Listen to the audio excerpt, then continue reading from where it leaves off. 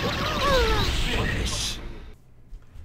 Doom's jumping light kick trades with Storm's standing jab. That causes Doom's momentum to shift from landing in front to landing behind Storm. Psylocke Assist comes out and does exactly nothing because Storm got hit.